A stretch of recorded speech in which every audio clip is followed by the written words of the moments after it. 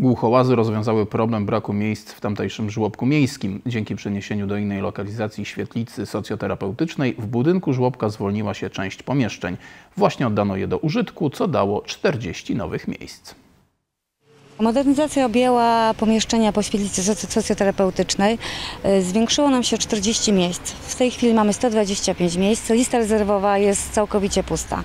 Nabór na wrzesień trwa, także mam nadzieję, że każde dziecko znajdzie miejsce w naszej placówce. Doprowadziliśmy do sytuacji to, co obiecywaliśmy rok, dwa lata temu. W Głuchołazach miejsce czeka na dziecko, na rodzica, a nie odwrotnie. Mamy dzisiaj sytuację taką jak kilkadziesiąt lat temu, gdzie cały budynek był żłobkiem, 120 miejsc y, dla dzieci żłobkowych. Udało się pozyskać dofinansowanie ze środków unijnych. Maluch Plus modernizowaliśmy kuchnię dla personelu.